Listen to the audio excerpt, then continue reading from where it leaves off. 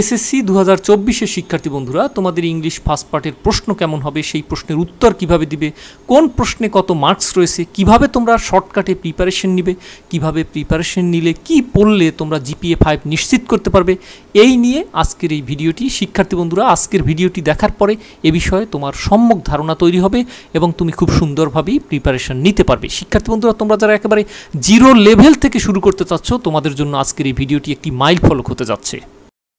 শিক্ষার্থী বন্ধুরা, তোমাদের বই থেকে প্রথম যে সিন প্যাসেজটি আসবে, তা থেকে কোশ্চেন নাম্বার ওয়ান এবং কোশ্চেন নাম্বার টু করা হবে। এরকম একটি সিন প্যাসেজ সেট করা হবে, এটি সাত গম্বুজ মসজিদের। তো যে কোনো সিন প্যাসেজ আসতে পারে।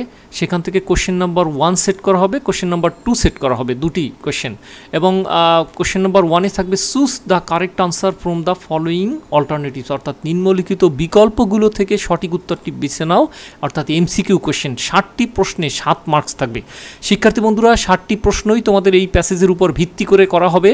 What is the main purpose of the author of the text অর্থাৎ এই পাঠ্যের লেখকের প্রধান উদ্দেশ্য কী? এরকম করে ষাটটি প্রশ্ন।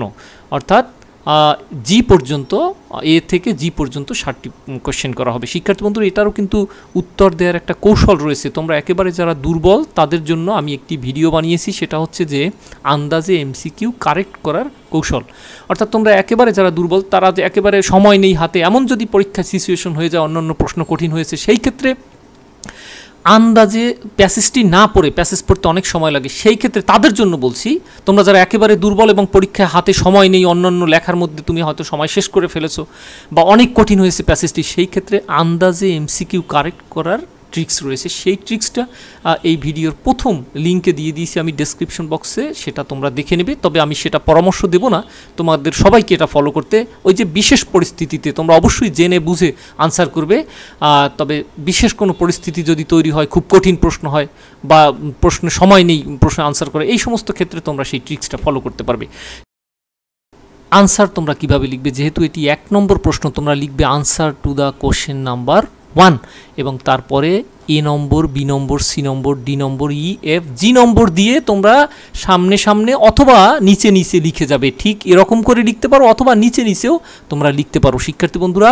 তবে অবশ্যই প্রশ্নের এই যে অপশন রয়েছে, সেই অপশন তোমরা তুলবে না। কিন্তু এ নম্বর দিয়ে এর মধ্যে কোনটি, সেটি খালি লিখে যাবে মানে সংখ্যাটি লিখে যাবে। অবশ্যই অপশনগুলো তুলবে না।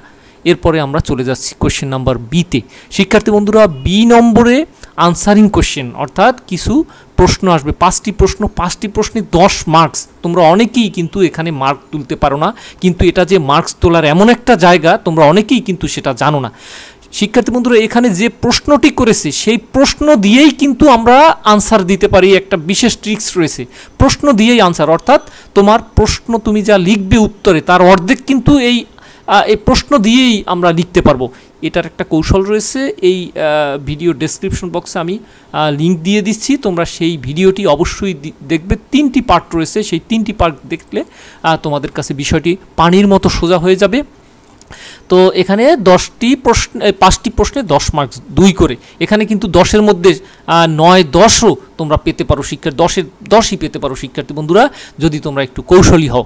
আর এরকম বাংলা কিন্তু দেয়া থাকবে না, এটা আমি বাংলা দিয়ে দিয়েছি তোমাদের সুবিধার্থে। আর শিক্ষার্থী বন্ধুরা, এগুলোর কারণ হচ্ছে আমাদের একটি বই রয়েছে, collegiate SSC English model question, সেই বইটিতে যেহেতু বাংলা দেওয়া রয়েছে, আমি সেখান থেকে প্রশ্ন প্যাটার্নটা নিয়েছি, সে কারণে এই বাংলা অনুবাদটা আমি রেখে দিয়েছি, আমি ফেলে দিইনি। তো কাজেই তোমরা চাইলে সে বইটিও সংগ্রহ করতে পারো প্রত্যেকটা এমসিকিউরও তোমরা দেখলে যে সেখানে অনুবাদ রয়েছে, একেবারে দু আঠারো থেকে দু হাজার বিশ পর্যন্ত ইংলিশ ফার্স্ট পার্টের প্রত্যেকটা বোর্ড প্রশ্নের। আর দু হাজার পনেরো থেকে দু হাজার বিশ পর্যন্ত ইংলিশ সেকেন্ড পার্টের ব্যাখ্যা বিশ্লেষণ সহকারে, অনুবাদ সহকারে। তো শিক্ষার্থী বন্ধুরা, এবারে তিন নম্বরেও কিন্তু একটি প্যাসেজ আসবে তিন নম্বরের জন্য একটি প্যাসেজ আসবে সিন প্যাসেজ তার মানে বই থেকে দুটি সিন প্যাসেজ করা হবে। সিন প্যাসেজ ওয়ান হবে কোশ্চেন নাম্বার ওয়ান এবং কোশ্চেন নাম্বার টু এবং সিন প্যাসেজ টুতে একটি প্রশ্ন করা হবে, সেটা হলো তিন নম্বর প্রশ্ন এবং তাতে থাকবে একটি শূন্যস্থান এবং কোনো কুলু দেওয়া থাকবে না। এরকম একটি প্যাসেজ সেট করবে এরকম প্যাসেজটি থেকে একটি শূন্যস্থান আসবে, পাঁচটি শূন্যস্থানে পাঁচ মার্কস থাকবে। শিক্ষার্থী বন্ধুরা প্যাসেজের থেকে তথ্য নিয়ে তোমরা সেই শূন্যস্থানটি পূরণ করবে এবং সেখানে ওই যে আগের মতোই এ নম্বর, বি নম্বর দিয়ে তোমরা উত্তর লিখবে সামনে সামনে লিখতে পারো অথবা নিচে নিচে লিখতে পারো আর উপরে লিখবে answer to the question number three তো শিক্ষার্থী বন্ধুরা, এবার চলে যাচ্ছি চার এবং পাঁচ নম্বর প্রশ্ন কেমন হবে? চার এবং পাঁচ নম্বর প্রশ্ন কিন্তু অবশ্যই আনসিন প্যাসেজ থেকে হবে। অর্থাৎ পাঠ্য বই বহির্ভূত একটি প্যাসেজ তোমাকে সেট করবে। কোথা থেকে সেট করবে, এটা আসলে বলা যায় না। অর্থাৎ পাঠ্য বইতে নেই এমন একটি প্যাসেজ সেট করবে এবং তা দিয়ে চার এবং পাঁচ নম্বর প্রশ্ন করা হবে। এখানে দেখো সুভাষচন্দ্র বোসের একটি প্যাসেজ সেট করা হয়েছে। এটা একটি বোর্ড প্রশ্ন। তো যাই হোক এখানে দেখো, এই যে সুভাষচন্দ্র বোসের যে প্যাসেজটি এটা দিয়ে চার এবং পাঁচ নম্বর প্রশ্ন করা হয়েছে কী রকমের? কমপ্লিট দ্য টেবল বিলো নিচের টেবিলটি সম্পূর্ণ করো with information from the above passage উপর উল্লেখিত প্যাসেজটি থেকে। তো এখানে রয়েছে কি হু মানে একটি ব্যক্তি অথবা তিনি কি করেছেন, আর এখানে তার অ্যাক্টিভিটি অথবা হোয়াট আর এখানে তার অ্যাক্টিভিটি অথবা ইভেন্ট আর এখানে সময়। তো দুটি তথ্য দেওয়া থাকবে, একটি তথ্য গ্যাপ মিসিং থাকবে, সেই মিসিং তথ্যটা তোমরা ফিল আপ করবে প্যাসেজ থেকে তথ্য নিয়ে। তো সুভাষচন্দ্র বোস আর হচ্ছে কি in India eighteen ninety seven অর্থাৎ আঠারোশো সাতানব্বই সালে সুভাষচন্দ্র বোস তোমরা ওখানে প্যাসেজটি পড়লেই বুঝতে পারবে যে এটি উনি ওই সময় তিনি জন্মগ্রহণ করেছেন। তাহলে এখানে ইভেন্ট বা অ্যাক্টিভিটিটা কি? ওয়াজ বর্ন তিনি জন্মগ্রহণ করেছেন। আবার দেখো world war two world war second মানে হচ্ছে দ্বিতীয় বিশ্বযুদ্ধ টুক প্লেস সংগঠিত হয়েছিল, এখানে টাইম দেওয়া রয়েছে। কখন? এই যে nineteen and thirty thirty nine অর্থাৎ উনিশশো উনচল্লিশ সালে। তারপরে হি কংগ্রেস প্রেসিডেন্ট তিনি কংগ্রেসের প্রেসিডেন্ট হয়েছে কত উনিশশো আটত্রিশ সালে এবং উনিশশো উনচল্লিশ সালে। এটা প্যাসেজ থেকেই তোমরা পাবে এবং সব, অনেক সোজা একটি প্রশ্ন হচ্ছে কোশ্চেন নাম্বার ফোর এখানে রয়েছে কি? এখানে রয়েছে একটি শূন্যস্থান, তারপরে এরকম করে আসবে। শিক্ষার্থী বন্ধুরা, খুবই সোজা। মার্কস তোলার একটি বড় জায়গা কিন্তু কোশ্চেন নাম্বার ফাইভ। এখানে দশ মার্কস থাকবে একটি সামারাইজিংয়ে। শিক্ষার্থী বন্ধুরা, তোমাকে এই যে প্যাসেজটি আনসিন প্যাসেজটি, এই প্যাসেজটি থেকে তোমাকে সামারাইজ করতে হবে, সারাংশ লিখতে হবে। সারাংশ লেখারও একটি কায়দা রয়েছে, একটি কৌশল রয়েছে। এটার জন্য তো ভিডিও রয়েছে আমার, তোমরা সেটা দেখলে বুঝতে পারবে যে কত সহজে সামারি লেখা যায় এবং সামারি লিখতে কীভাবে ফুল মার্কস পাওয়া যায়। দশ মার্ক থাকবে একটি সামারিতে শিক্ষার্থী বন্ধুরা। এইগুলোতে যদি তোমার মার্কস কমে যায়, তাহলে কিন্তু তোমরা জিপিএ ফাইভ পাবে না। আমি যে বললাম যে তোমরা কীভাবে পড়লে জিপিএ ফাইভ পাবে, শিক্ষার্থী বন্ধুরা, এই কৌশলগুলো যদি তুমি অবলম্বন করো রাইটিংয়ের বিশেষ কৌশল রয়েছে, আমি সেটা বলে দিচ্ছি সামনেই। রাইটিংয়ের কী কৌশল ফলো করবে? তার আগে আমি এই প্রশ্নগুলোর কৌশলটা বলছি। সেটা হলো যে এই যে সামারির জন্য যদি কৌশলটা তোমরা শিখে নাও এর আগে যে বললাম যে এটা তো, এটা কৌশলের কিছু নেই, এটা তোমরা পারবে। এটা খুবই সোজা প্যাসেজ থেকে খুব সোজা একটি প্রশ্ন হয়।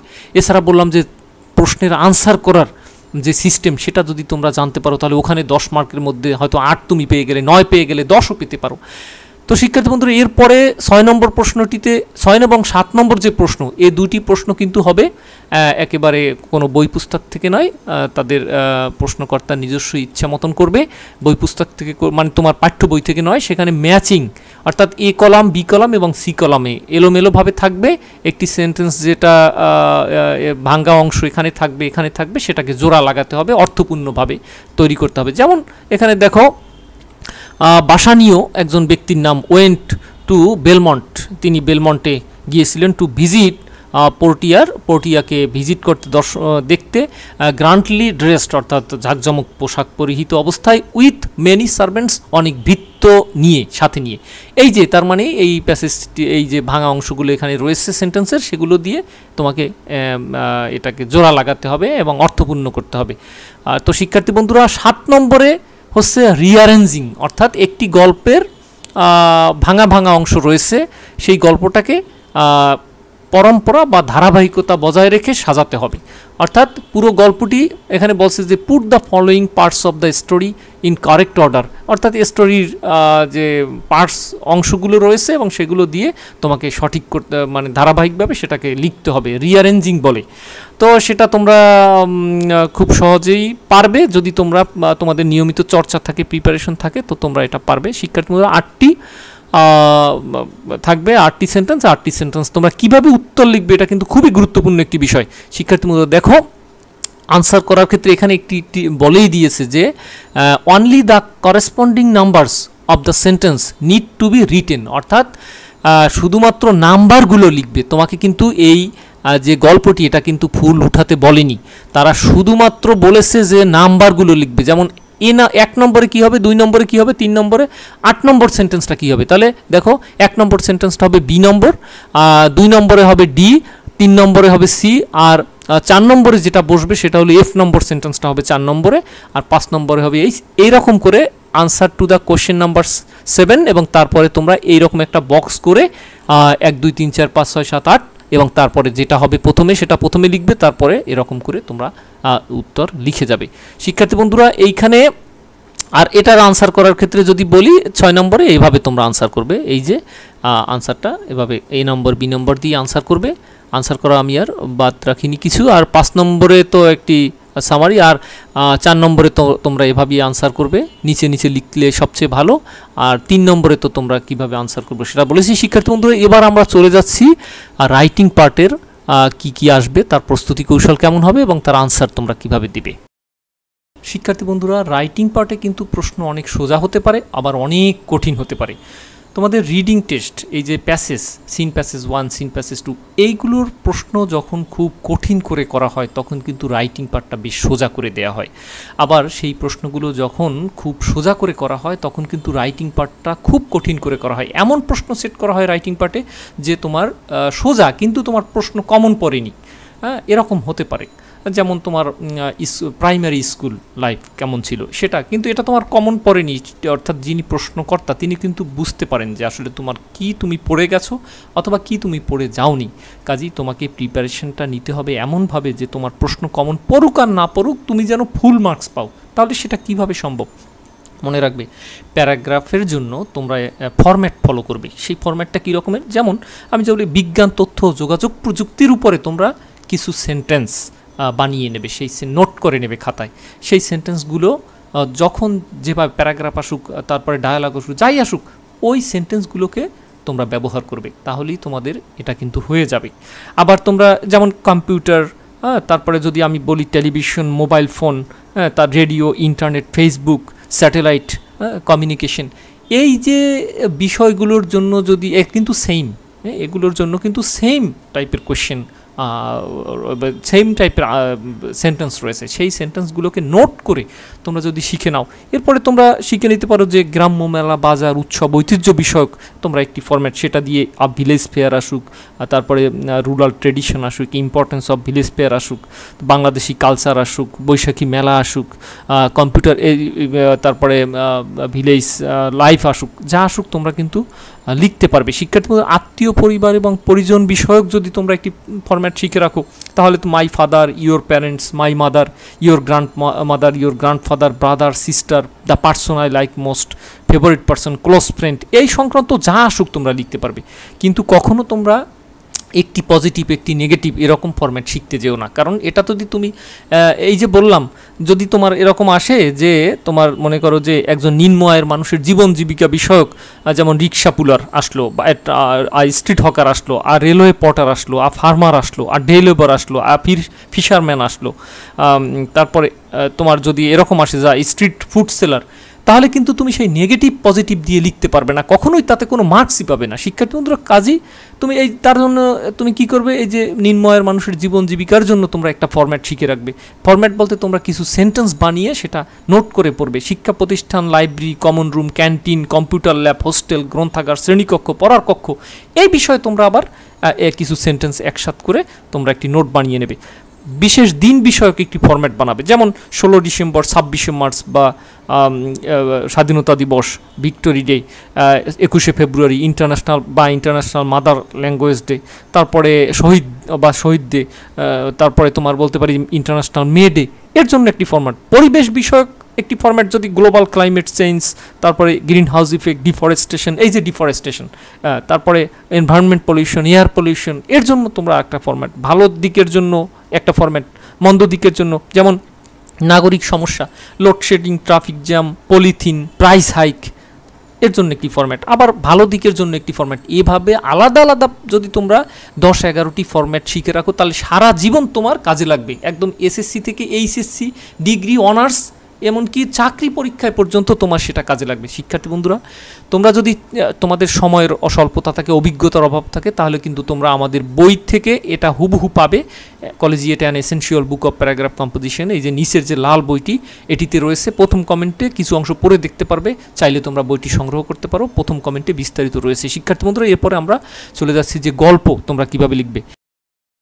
গল্পের শুরুটা দেয়া থাকবে এবং তোমাকে সেটা তোমার নিজস্ব চিন্তা চেতনা বা ভাষা দিয়ে সেন্টেন্স দিয়ে গল্পটা শেষ করতে হবে। সবার গল্প যে একই রকম হবে এমন কোনো কথা নেই। কথা হলো সেন্টেন্সগুলো কারেক্ট আছে এবং গল্প মোটামুটি ঠিক আছে। গল্পের যে পরম্পরাটা বা ধারাবাহিকতা, বাস, হয়ে গেল।